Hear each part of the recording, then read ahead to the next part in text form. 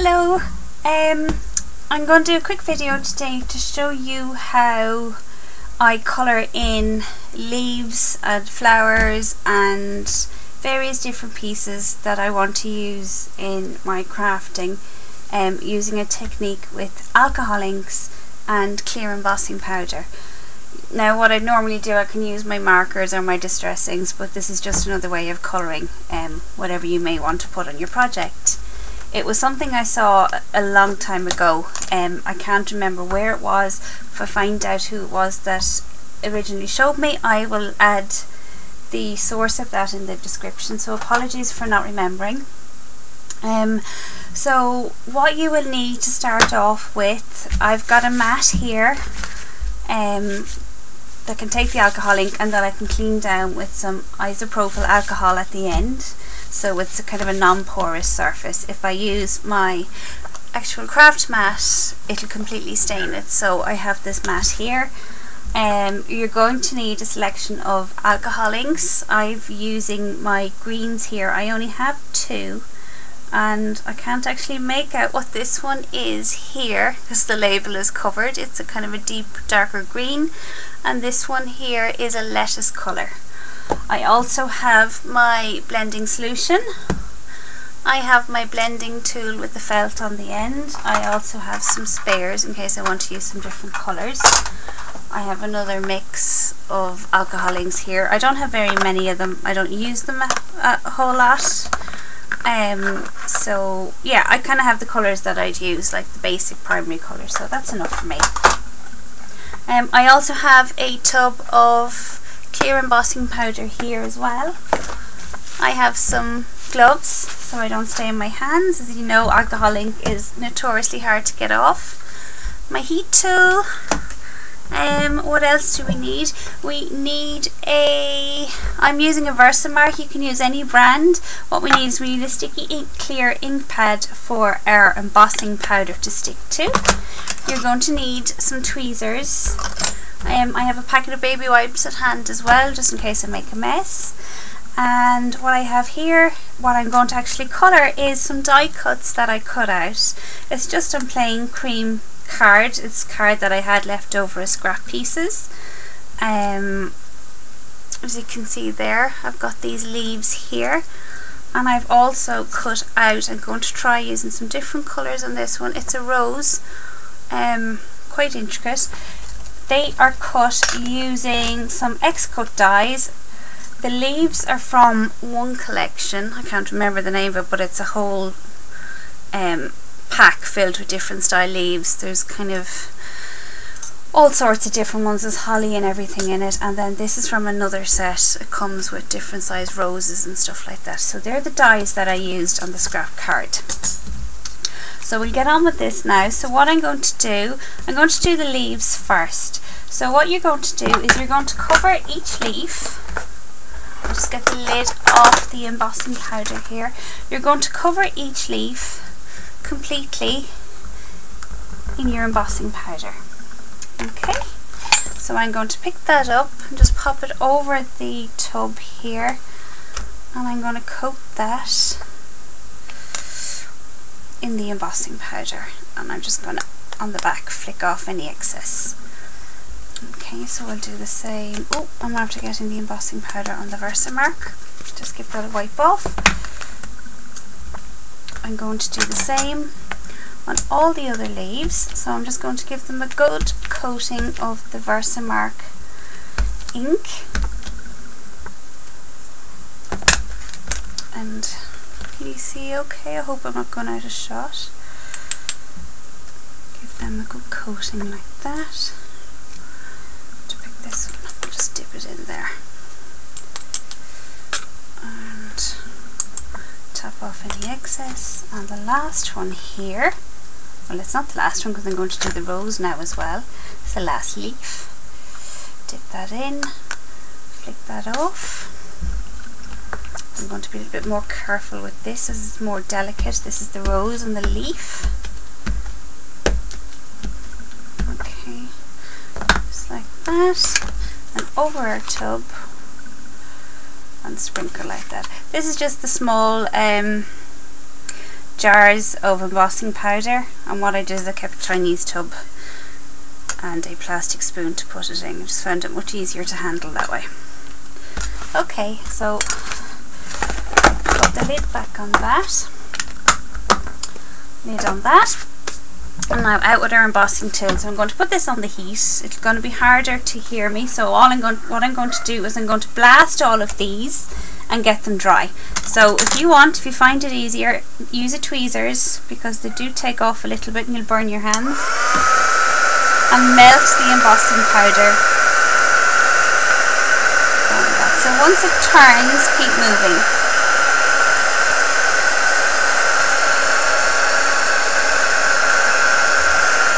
Voice sounds all kind of funny and odd, it is because I'm suffering with bad sinus at the moment so excuse that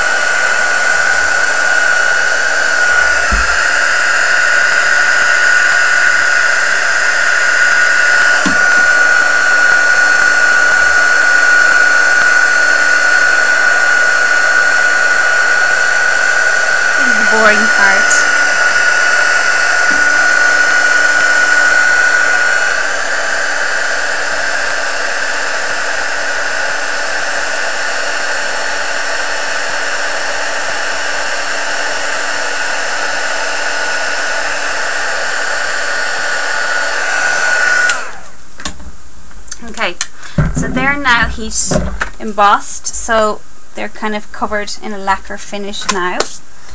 Okay, so gloves on. You don't have to do this step, but I'm going to be doing some cooking later, so I don't want alcohol ink all over the food. Okay, so let's take out my two greens. And it doesn't matter, you can put the alcohol ink either on directly on the sponge or you can put little dabs of it on the leaf directly or whatever it is that you're going to colour in. In this case I am going to put some of the lighter in the middle.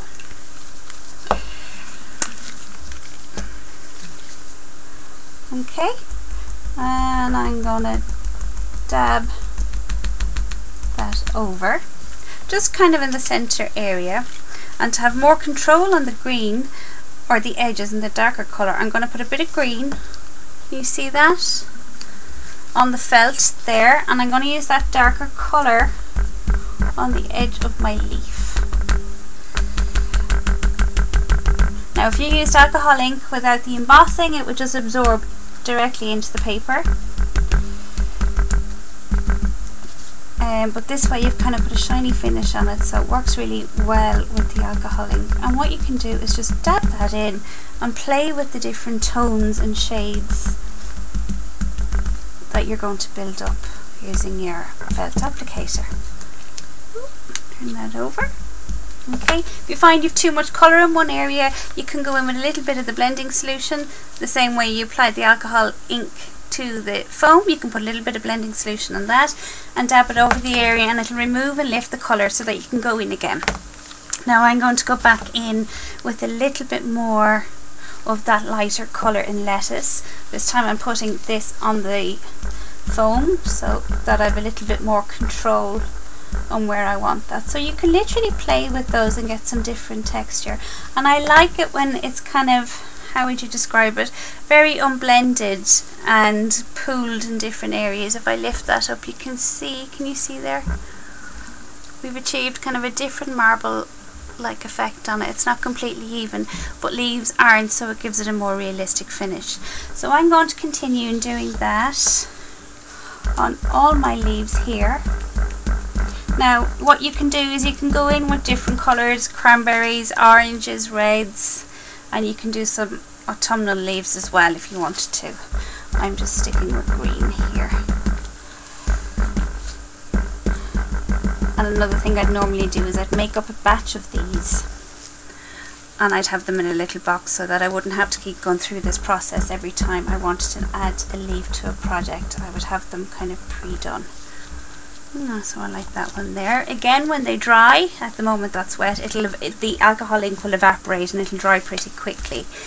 Um, what you can do is let them dry and see how you like them and you can always go back in and add more colour or add a different colour tone in different areas. Okay, so just put some of that darker green in there and then I've got the lighter green on the edge so I'm just going to dab that out there. Now I'm coming to the rose here so I'm going to do the leaf and the stem with the thorns in the green and then I'm going to play around with my currant and cranberry. I also have some wild plum I might mix in and come up with three different tones. You can see those ones there. Come up with some different tones. Um, for the rose actually if I pull sorry I just have something kind of blocking the window here I wonder if I pull it down will it help a little bit with the light I don't know if that makes a difference to you so while I've got the different greens on this I'm going to go in and dab them along the stem. Okay, and again you can play around. If you've got a if you've got more than two alcohol inks, you'll be able to get more different tones on your um, project. But I only have the two there, which is enough for me. Okay, I might put a little bit of dark green in there, just a little tiny bit. You only need a very little bit of the alcohol inks as I'd say most of you already know because you've probably played with them.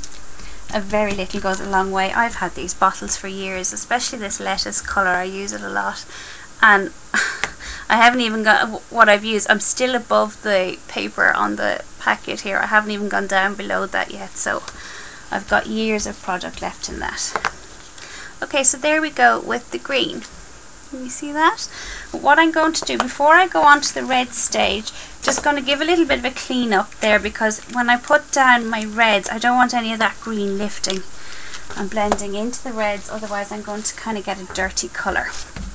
So what I'm going to do is I've actually, instead of blending solution, you can use the blending solution, but I have a big bottle of isopropyl alcohol here. So I'm just going to squirt a little of that down and rub that on my mat and it'll lift off the ink there. I also recommend that you have the window open when you're doing that because it's um it's very potent. Now, so we lift off that felt. I'm going to go in with a new piece of felt on my blending tool. Um, I have some pink sherbet here as well. Let me see now, what will we work with? I will go in with the palest of the red, which, or the palest of these, which is actually pink sherbet. I'll put that down first as a base colour, and then I can work the darker colours over. So a blob of that. Can you see this okay? And I'm just going to dab that all over that rose. Okay? I don't need to change the foam cap back on that. I'm going to go in with cranberry, which is a lovely deep red. Small bit of that. And starting on the centre, I'm just going to dab that in random areas on the rose. So it looks, you can see kind of a pink and a red there. Again, the next colour I'm going to go in with, I think I'll go with the currant instead of the wild plum. The wild plum has quite a purple hue to it and I want to keep this in the red spectrum. So a little bit of currant there and I'm going to dab that over any areas that have no ink and try and blend those two previous colours together and I really like how this is coming out and getting a nice mix of colours here. I'm going to lift that up and show you. I wonder if I have anything white to put it against so that you can see can you see the colour tone in that? Nice different mix of tones. You can keep playing with that um, if you want. Another thing you can do if you're working on maybe if it's something like a flower that has it's a solid piece it's not as kind of detailed as cut as detailed as that. You could mask off certain areas using um, some masking tape or what you call them post-it notes or washi tape so that you can make sure that you keep the colour in a certain area lift it and work it that way if you find it easier. So that's the colour laid down on those. So I'm just going to pop those out and actually what I might do just before I get on to the next stage of heating them I'm going to go in with another foam square. Now just to let you know these foam pieces that I've or foam felt pieces that I removed I'm not going to throw these out. I'm going to keep these. I'll get another couple of uses out of these. Obviously I'll keep using the greens with the greens and the reds with the reds but I'll get another couple of goes out of those. So I'll keep those with the alcohol inks. Um, what I was going to do just to give a little bit bit of tone I'm going to go in with caramel which is all I have on the brown colour of the spectrum and I'm going to put a little bit of brown on the very tip of my felt and I'm gonna dab that randomly kind of around the edges and the stem of the leaf. Can you see that? I'm going to put it against that white background again. You see the way the brown has made it a little bit more 3D and realistic. You don't have to do this stage if you don't want to. If you want to keep them a nice clean green, you can do that. And there's enough there on that felt I can Lift this up. I don't need to reapply anymore. Okay, and I'm going to do a tiny bit on the rose as well. Excuse me. now, okay, so the next stage, oh, I have another leaf there, I can do that again later.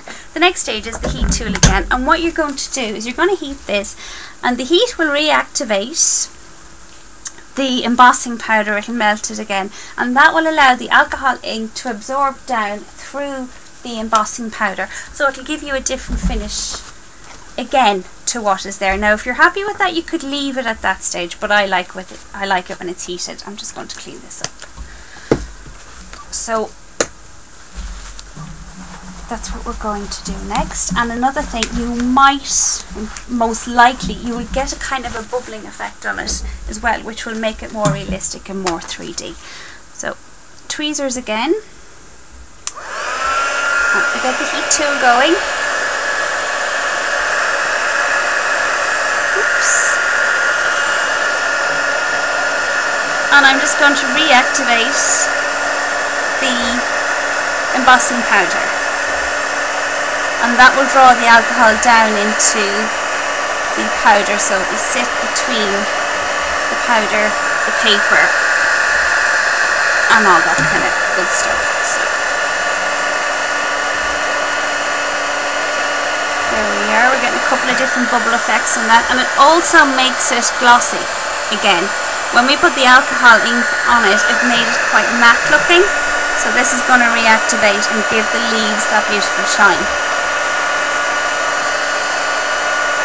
it's a nice alternative this technique to, to um, it's nice to try something different so instead of just putting plain green cardstock and trying to shade it with your distress inks or whatever inks you might have at hand. It's a nice way of getting some colour into your leaves. And again, you can do this with anything at all. It doesn't have to be leaves. It's just what I wanted to do because I'm going to use these now on a tag.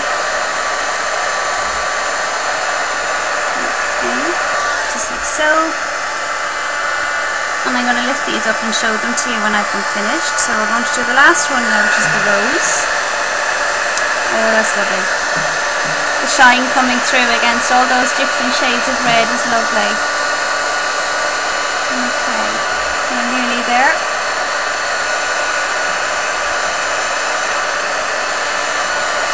Very grungy and realistic effect. now, hang that back Okay, so I can take off these gloves now. They're annoying me. Now, I'm going to lift these up now and put them onto the back of a paper pad. Lift these up and show them to you now. And I'll take a photograph as well and I'll put that up so that you can see it a little bit better. Okay, can you see those alright? Can you see the shine has been reactivated now because I used the heat tool as the last stage and you can see all the different tones in the leaves there. And that rose came out really really nice. I'm happy with that. Alright okay so there you go. Something different to try. Again if I find out where I originally learned the technique I'll post it below. If you have any questions pop them in the comments below and I'll try and answer them. And thank you very much for watching and hopefully I will be back with another video soon. Alright take care. Bye bye